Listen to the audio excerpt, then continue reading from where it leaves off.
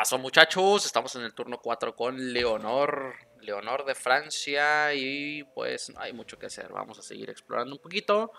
Y bueno, pues por el momento es todo, así que nos vemos en el próximo turno.